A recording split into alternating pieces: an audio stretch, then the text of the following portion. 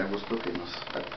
que, que, estar con atentos con, con,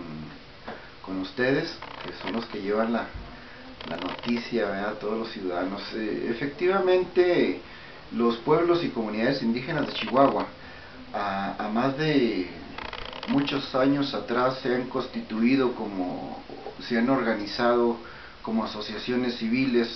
Eh, si recordamos un poquito de los consejos, el Consejo Supremo de la Tarahumara, los consejos regionales, el propio Consejo Indígena, casi cerca de 12 años que se constituyó, pero más que nada como organizaciones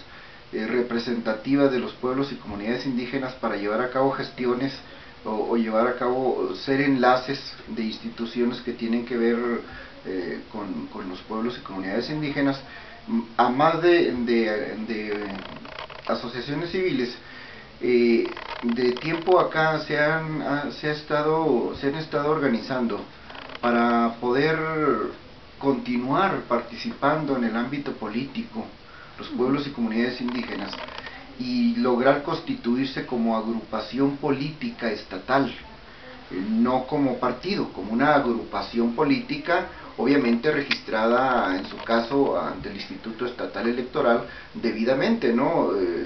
y, creo que como, como agrupación política darían un paso muy grande al respecto. Si podemos hablar de algunos municipios de la sierra donde mayoritariamente los electores son indígenas,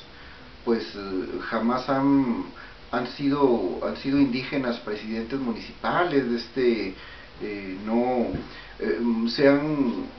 el único, lo único que han apoyado es con algún regidor,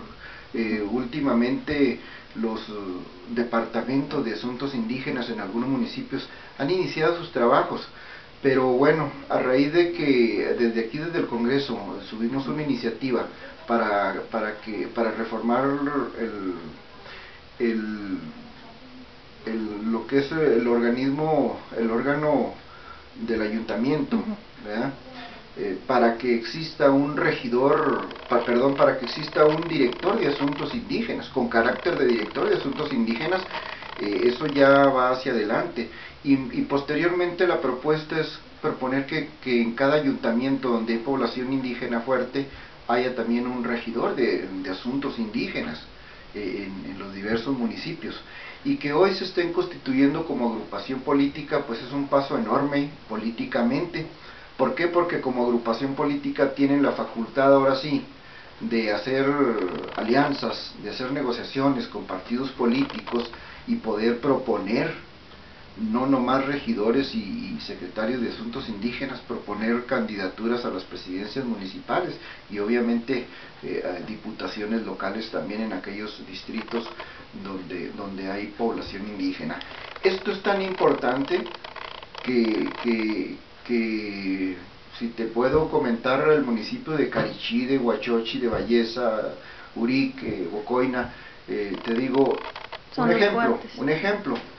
si 5.000 electores hay en el municipio de Carichí,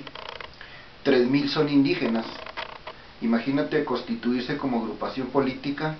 eh, los indígenas tendrían toda, toda la facultad y toda la fuerza política para, para proponer candidatos a los diversos partidos